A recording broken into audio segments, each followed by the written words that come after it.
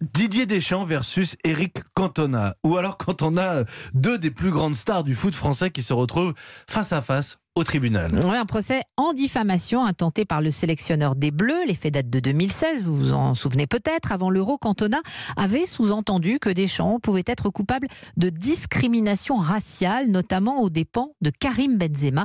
Une bisbille que nous rappelle Jean-François Pérez. Benzema et Ben Arfa sont les deux meilleurs joueurs en France. Ils ne joueront pas l'Euro. Leurs origines sont nord-africaines, donc oui, la question se pose.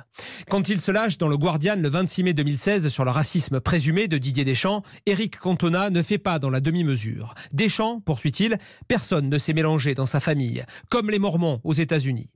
Celui qui est déjà le sélectionneur national porte plainte dans la foulée, mais le mal est fait. Quelques jours plus tard, Benzema estime que Deschamps a cédé à une partie raciste de la France. La maison du champion du monde 98 est taguée, une trace indélébile pour Deschamps, comme il nous l'avait confié dans l'émission Face aux auditeurs d'Europe 1 l'an passé. Ça, j'oublierai jamais, euh, forcément. Après, on vit avec, mais quand on franchit la ligne blanche, après, il y a un point de, de non-retour. Deschamps et Cantona, c'est l'histoire d'une inimitié vieille de 25 ans. Les deux hommes aux personnalités opposées ne se sont jamais entendus. Deschamps attend une condamnation de principe de son ex-coéquipier en bleu. L'argent éventuellement récolté serait reversé à une association. Voilà, ce sera pour la bonne cause.